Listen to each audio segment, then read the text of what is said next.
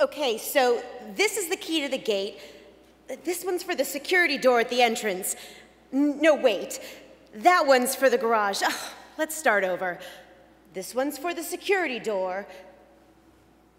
He said he'd kill me if I changed the locks. Said it was his house, too, just because he'd lived there for a while. But I'd been renting the place since way before he showed up. If I change the locks now, he'll kill me. Should I change them or, or not? Well, I didn't.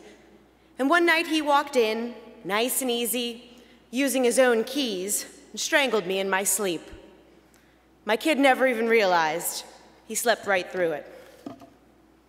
He was nice to my kid, sometimes took him to see a local soccer match. That's what fooled me. If he treats my kid right, he'll treat me right too, I figured. I'd always felt so lonely. There was just the factory, my kid. It felt really good to have a man around the house. It's so sweet to see them shaving in the morning with that nice, clean smell they give off. He sure was clean. He'd even change his shirt twice a day. Uh, I'm not much good at ironing, I'm the first to admit it. But with him, it was a bit of an obsession. Blame it on their mothers, raising boys like they're guests at some fancy hotel. Well, afterwards, the real world is bound to disappoint. I would have moved to a fancy hotel myself if I had the money. Would have taken the kid and left him in this damn place once and for all. They kept telling me at the crisis center, change those locks. But I was afraid he'd kill me if I did. Everyone had heard him shout, just let her try it and I'll kill her. So I never dared. Well, he came and killed me anyway. Now, where's the logic in that, I ask you? Okay, so this one's for the security door. No, door. No, my mistake. It's for the gate.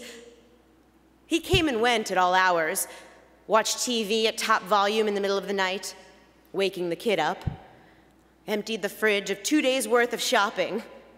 He was used to taking what he pleased.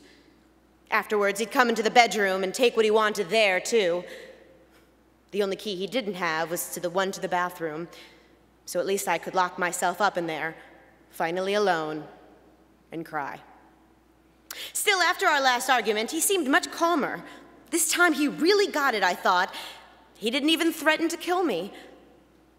So I almost convinced myself to change the locks that next morning, but he killed me first.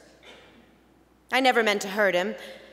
I just wanted to leave him, or rather, I wanted him to leave us alone, me and my kid. But he didn't want to go back to live with his mother, even if she ironed his shirts way better than me. He was always saying, So, you should learn from her, he'd say. But I never got the chance. Would you do me a favor and tell the women at the crisis center that they were right all along? I can't seem to find them.